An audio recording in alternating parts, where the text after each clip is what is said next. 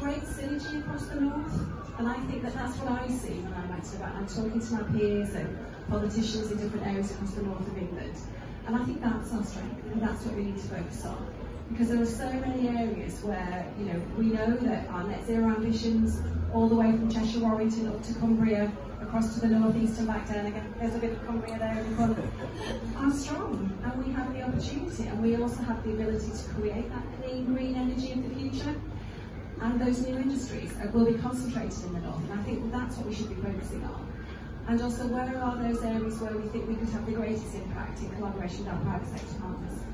And for us, what we're looking for is that long-term and committed investment from government, rather than year to year or programme to programme. That would really make a difference.